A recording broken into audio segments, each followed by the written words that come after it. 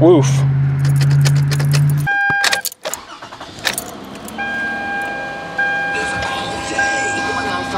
Today we have a 2007 Toyota Camry with the battery light on. The battery's losing charge. The battery tested fine with the fancy O'Reilly uh, battery checker. So basically I'll run you through putting an alternator on this car.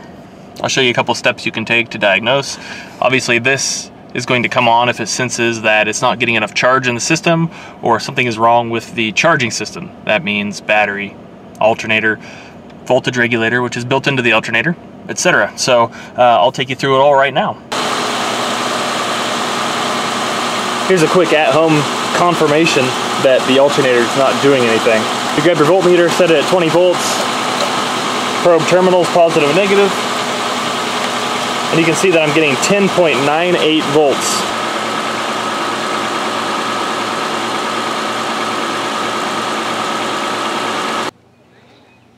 Here are all the tools that I'm going to use in this video. I'm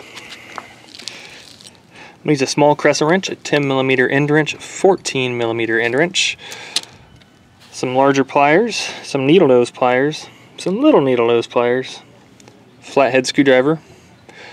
Don't forget the voltmeter, funnel and I used a 3 8 socket for one of the battery terminals. I don't think it's stock. Uh, 12 millimeter, 14 millimeter short, 14 millimeter deep, 10 millimeter deep, 3 8 ratchet, 3 8 extension, pry bar to get the alternator loose, and I use this rental tool for um, belt tensioning. That made my job much easier. So you can grab that at O'Reilly, AutoZone, Advance, whoever rents tools.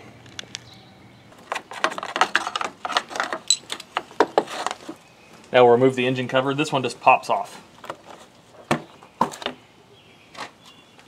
Now you have a chance to see kind of a good overview of what we're going for here. The alternator's right here. To get this alternator out, we're going to need to remove this plastic covering here. Now it's nice to get some perspective on what you're doing um, before the job. So you can see the old alternator is, is oriented just like so. It's got a clip here, points towards the front of the car, and it's got this big main power feed here, which is right here. The clip is here. If you look at it, the alternator is actually only held on by two bolts, one and two. This one here is behind that. Yeah, it looks like it's right behind that pulley. So uh, we'll see how we can get it out the easiest way possible without hurting anything and doing it right. Now we're going to remove this plastic bonnet. It has these fasteners in it. Basically what you do with these is put a flathead screwdriver under them, pop them up like this, and they come out.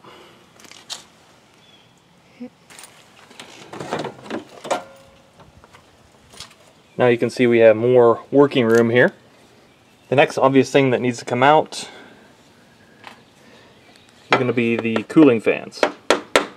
So before the fans can come out, we need to remove this air intake tubing. I've removed two 10 millimeter bolts. There's some vacuum hoses and slots over here. You'll want to pull those out. And then there's a clip here you will need to squeeze with pliers to pull it out and unclip uh, the sensor and then this black plastic should come out. This is undone. Here's a look at the back side of that clip for you for the sensor. All you'll do is just pinch this on both sides so it fits back to that hole.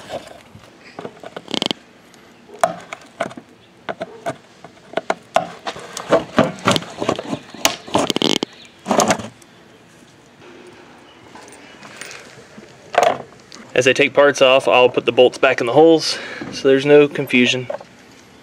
Beneath this upper plastic intake, there's a lower one too. 110 millimeter here.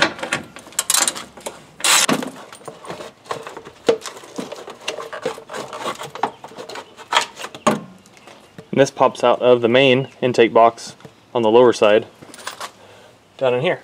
So when you put it back in, just make sure you slide this in. It's got a, a seal here so it gets more cold air. Since we'll be removing hoses, this upper hose has to come up. I'm going to lower the level of the coolant system. First thing I'll do is I'll open this cap. A little bit of pressure, I started it and moved it. And then there is a drain right there. You'll turn that and it will drain through that hole in the valance below and into a pan that I put down there.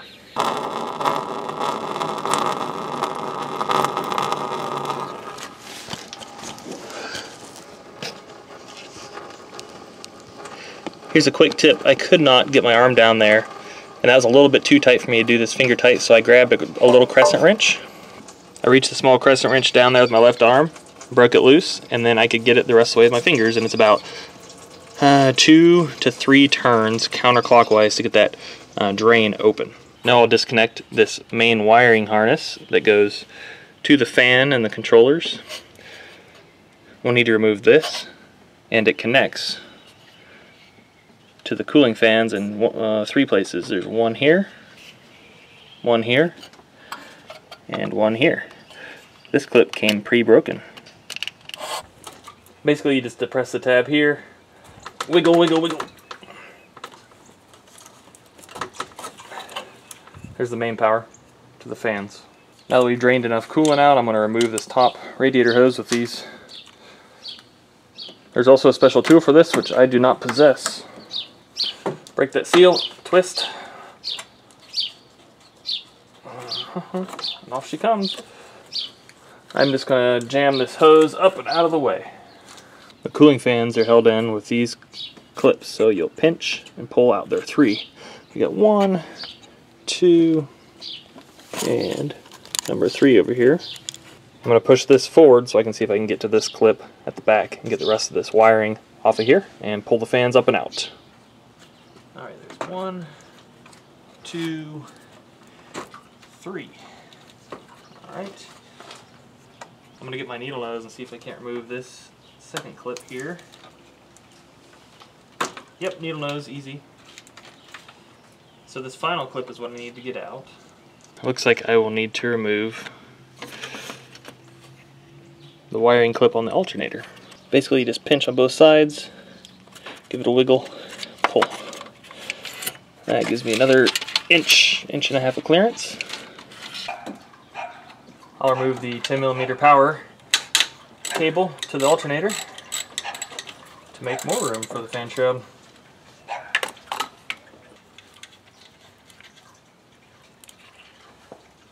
Um, there is the R134A port cover. That is hitting on this fan motor, so I'm going to remove that cover as well. Just hand unthread it.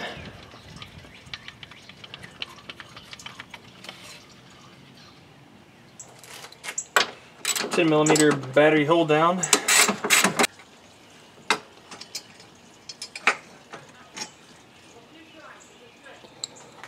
Twelve millimeter holding the dipstick bracket.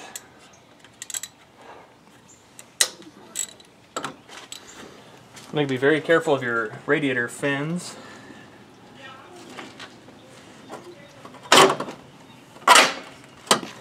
Watch for catching on any wires.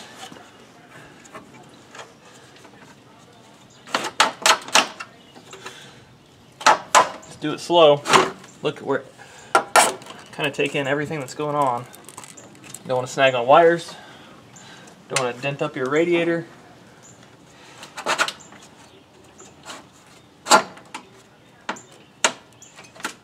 This thing's a booger. I'll lean it forward a little bit and the battery moves out of the way.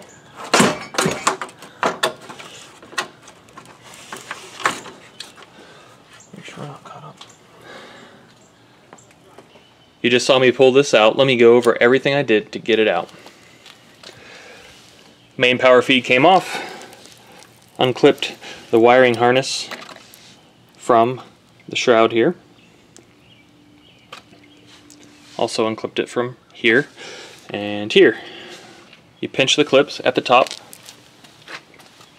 Additionally, you undo the battery hold down, push this hose off and up out of the way.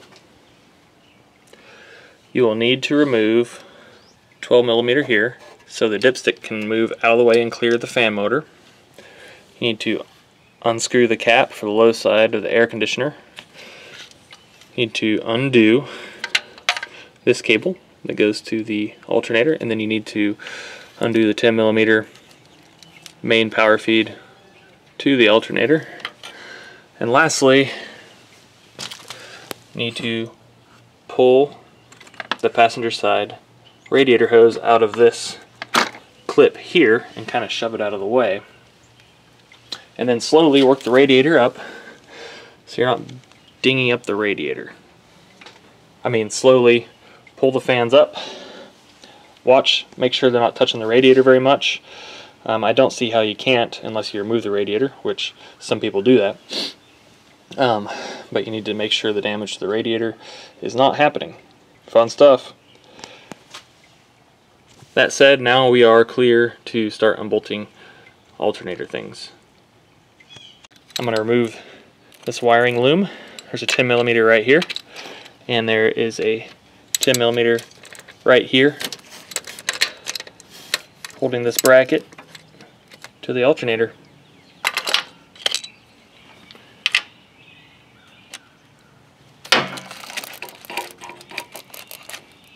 Now you're going to want to take the belt off of the alternator. There's a tensioner right there. And I'm going to use a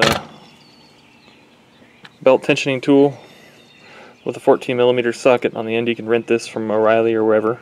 So you just grab on there and push it towards the rear of the car. That will release tension on the belt. You just want to loop it off of the alternator only and keep everything else in place so you don't have a, a bear of a time getting this belt back on because it's not not very user friendly I'll say. So far I have this top bolt out which is this guy right here. And now I stink my hand back in and I put a 14 millimeter long socket on this bolt. So I'm going to connect to that with a ratchet. So hand went down here, right? And I put a socket on the bolt head and you can see where the socket is. It's right there. So a reference point for it, it would be like straight below this valve cover bolt. Right there. Now see if I can't get it out that way.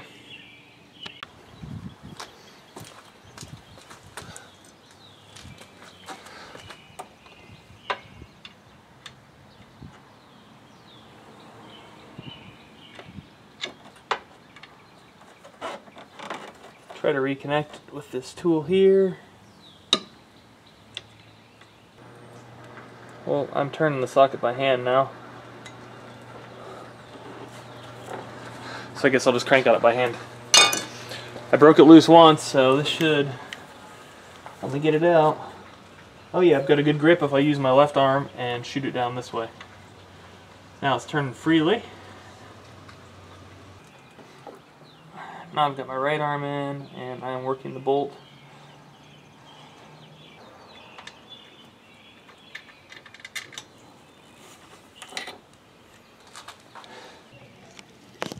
The last bolt to get the alternator off, there is a 12 millimeter bolt straight back. So let's shine some light.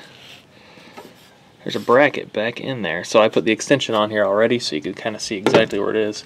If you look back in there, you can see it. It's very hard to show on camera, but grab an extension, grab a 12 millimeter socket, and you can look right back there and put it on there, and then I'm going to put my ratchet on and pull that out.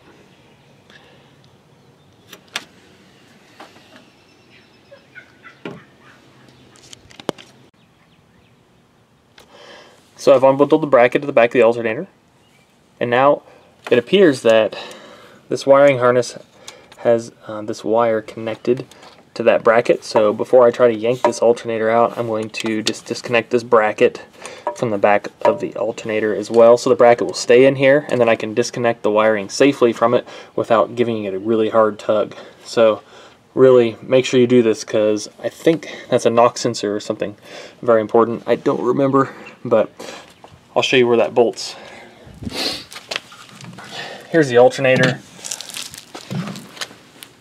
Front of the car here. That bracket that I'm about to unbolt is a 14 millimeter bolt. It fits right in here. So I'm going to unbolt that now.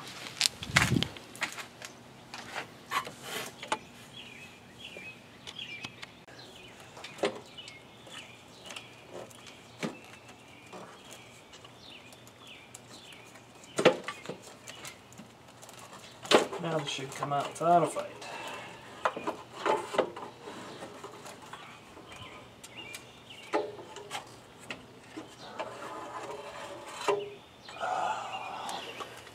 Yay.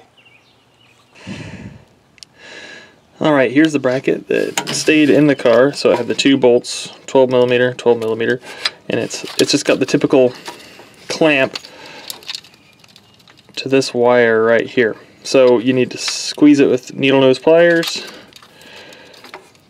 to detach it. And then I'm going to bolt this onto the new alternator. Prepare that new alternator for installation. First thing we're going to do is bolt this bracket back on. Here's where the clip that could get yanked really hard. That's where that guy clipped in. So put your bolts back in. Here's the hole where it's going back in. You can see the AC compressor here. This clip here, um, I never really got close to hitting it. I would have removed it if I were near it, but it was pretty clear. Here's the wire that went back. I'm going to go ahead and install the alternator. I'll need this bracket to kind of snake in, so I'll kind of push it in and turn it clockwise like this. Careful of the radiator. So now the alternator is a little left of where it should be. That's when I'll reach back and reconnect the little wire that was causing me some extra work. So I'm going to reach back in there, clip it up into that bracket. Alternator is easy to align. So I'll get this top bolt in. Gonna push push this radiator hose out of the way. Go.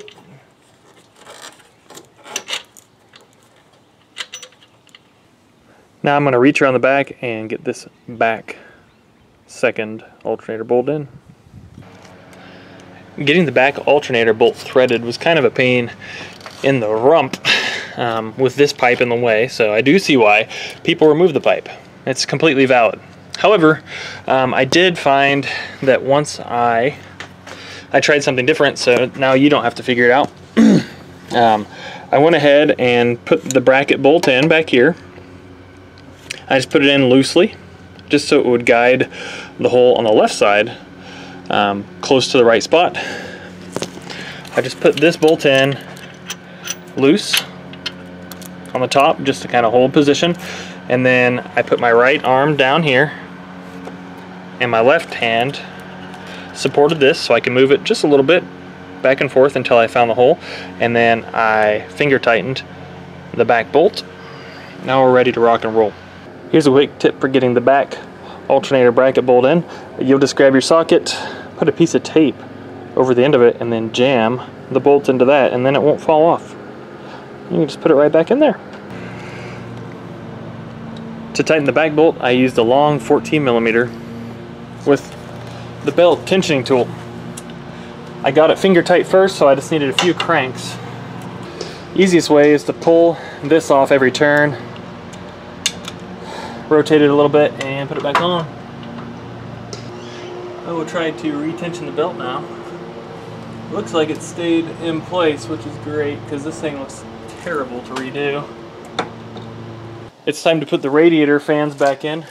Now remember, this is a great time to close your radiator drain. It's really easy to access right now. So that's closed, and this is going to slide in and snap in. I'm going to go ahead and unplug these two so they don't get in the way. Don't want to damage older plastic.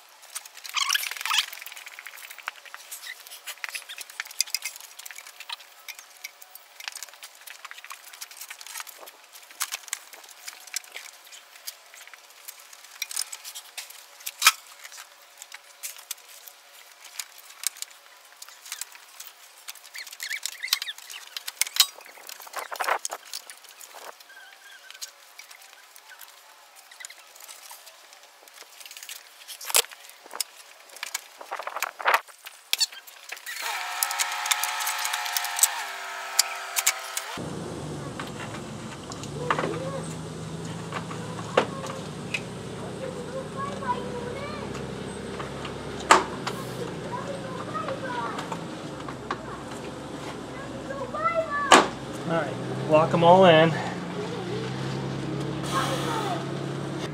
Now I'm plugging in my fan motors.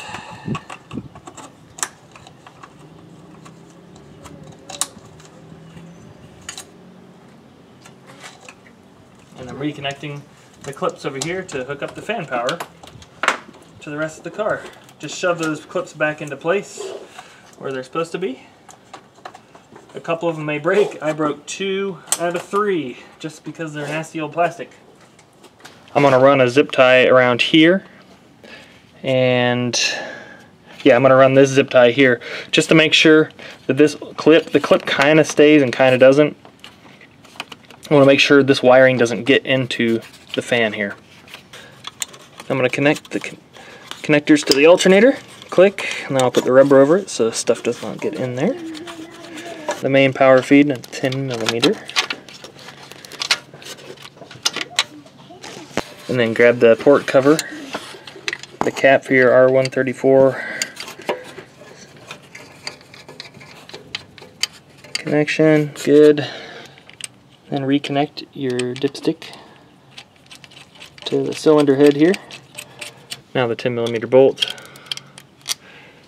for this main wiring harness. This one goes in the valve cover.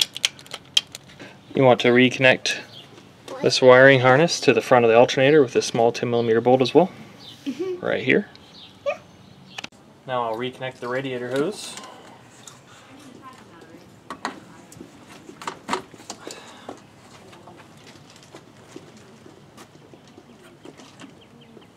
Reconnect the battery hold down. I'm going to put this lower air intake hose back in kind of snakes under the battery here. And then you can look through a crack up here and see where it's supposed to go.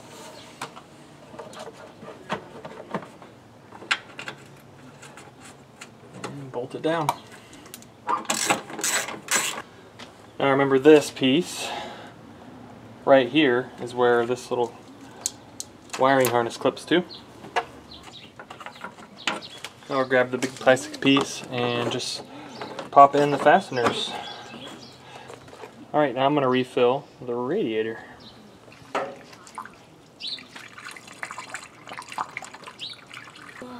Alright, now I'm going to reconnect the battery and fire up the car to get the system burped. Get the water pump working, work out bubbles.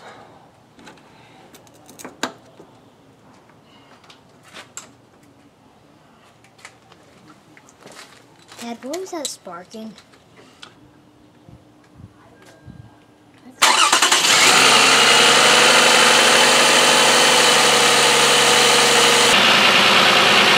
Now that we're running, we see we're running 13.27 volts. The alternator is now working.